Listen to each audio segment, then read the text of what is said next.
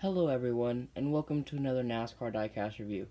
Today's review is going to be on the 2017 William Byron Homestead Championship car. Uh, before we get into the diecast, I would just like to say that um, the um, the Dale Earnhardt Jr. Talladega race version is uh, is still up on eBay if you'd like to purchase it. I don't like plugging my own stuff, but I'm trying to get rid of it. So if any of y'all would like it, or y'all could make an offer, and I might accept it if it's reasonable. It's already $10 off the retail price, so it's already a pretty good deal. But if it's a reasonable deal, I will probably accept it.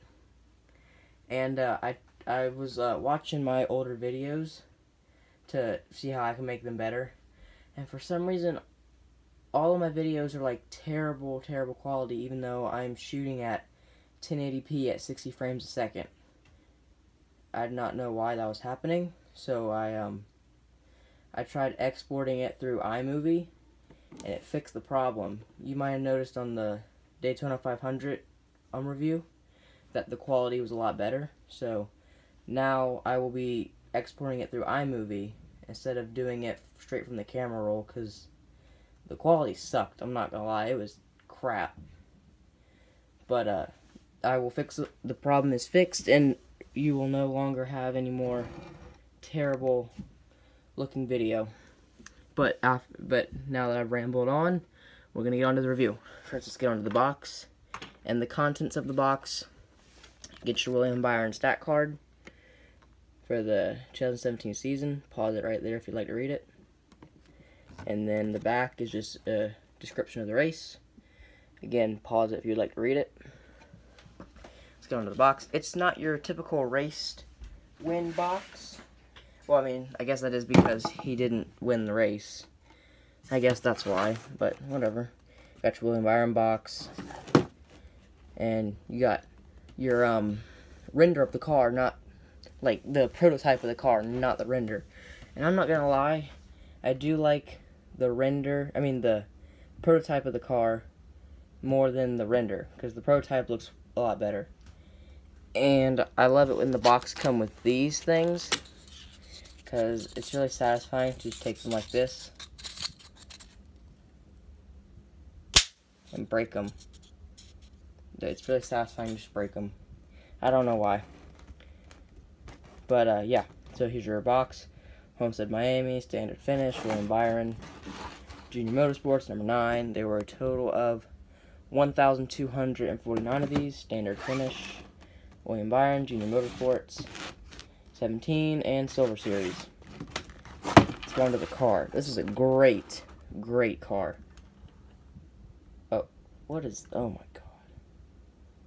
Oh, great. The car wiggles when it rolls. Oh my god, Lionel. Really?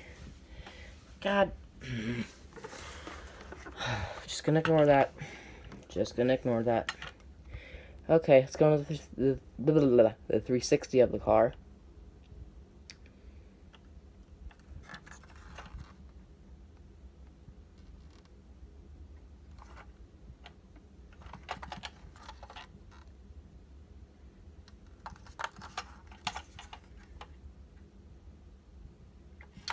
Okay, now let's get on to the damage. You got some dirt on the splitter the red splitter for the Xfinity playoffs. Got some dirt on the hood. And this is an autographed version. They all came autographed. My god, look at that gap between the tire and the body. Good lord, why? And it's like, it's not even screwed in all the way. Like, it just... Oh, my god. It's ridiculous. Whatever. Got dirt stuff.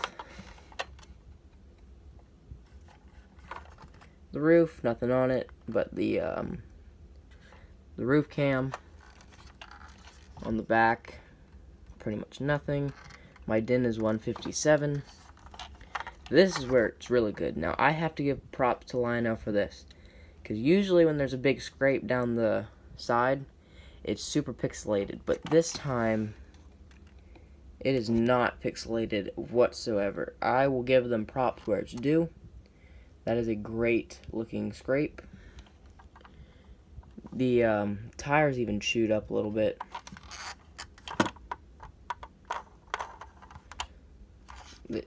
This side looks great. Like if I if I had a display case, which I don't, I just have that. If I had a display case, I would display it this side instead of this side. So yeah, they did a fantastic job on this side. I will give them props where it's due. And then over on the on the fender, you got more scrapes. Yep, not pixelated at all. It looks fantastic. Got the pretty good detail on the tire. I really got this just because William Byron was my favorite um, Xfinity driver last year. I have his Indy win, his Darlington throwback, this one, the Homestead, and his Phoenix was supposed to come in today. I don't know why it didn't. It was out for delivery today. I guess the delivery guy forgot it. Or maybe it's waiting right outside my door when I get done with this review. And if that's the case, the review will be up tomorrow.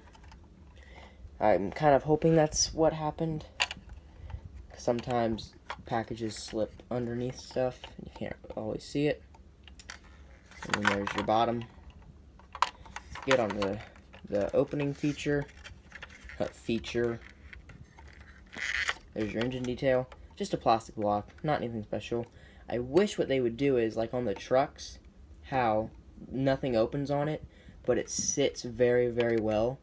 I would say we just get rid of the opening hood in the engine and focus on it sitting right. Like, my god, what is that? how far that is off the ground. That doesn't even look right. I mean, like, you, like, listen to that. It's like it's not even screwed in all the way. That's ridiculous. Whatever. Let's get on sponsors. Got Liberty University on the hood. Got your contingencies. This is my favorite thing. The Junior Nation Appreciation Tour thing right there. Little sticker. I didn't even know he ran that on the real car. Where's that? Let's see here. If it wants to focus. Come on, focus. Oh, I can't read what that says off the camera. What what is that? I have no clue what that is. It's so small you can barely read it. Looks like a father and a son. I don't know. Uh, if you know what that is, uh, put it in the comments, please. You got Brandit, Liberty University, Axalta. You got Liberty University with the rookie stripes, Armor 150 years. And you got the same thing on this side. Wants to focus. My camera does not like to focus. And that is about it for this car. Um, I just want to say something that I've been wanting to get off my chest. William Byron deserved to be in the playoffs way more than Jimmie Johnson. I'm just gonna say that. I love Jimmie Johnson. He is a seven, he is a seven-time champion, but his season this year was crap. I don't know how he got into the playoffs. William Byron was a lot more consistent than him, in my opinion. I think he should have gotten in the playoffs.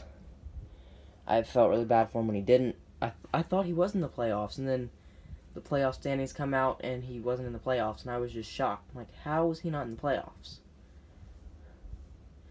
But yeah, I, I think he deserved to be in the playoffs way more than Jimmy. I think he had a way more consistent season like he didn't he some races he wouldn't get as high as Jimmy, but on the races where Jimmy was crap, William Byron was in his normal 15th, 20th, 10th place.